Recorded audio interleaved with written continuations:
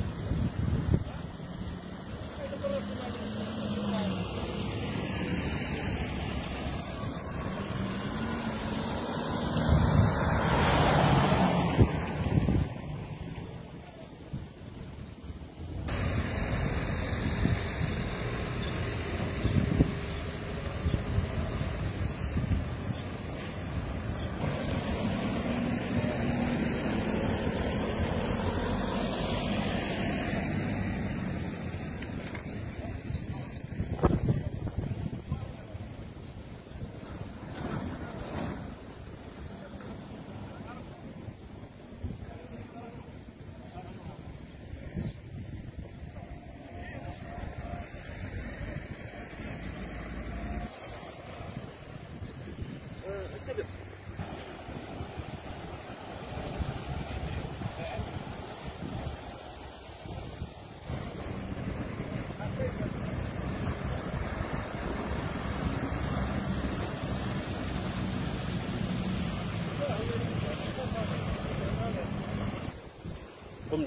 بغلق جميع مداخل ومنافذ الشواطئ سواء كانت نهارا او ليلا وضع نقاط المراقبه وتفتيش من اجل تحسيس المواطنين وعدم توجههم في مختلف الشوارع كما لاحظنا في الميدان الحمد لله هذه الحمله التخصيصيه لقت استحسان كبير من طرف المواطنين وهذا ما يدل على وعيهم الصحي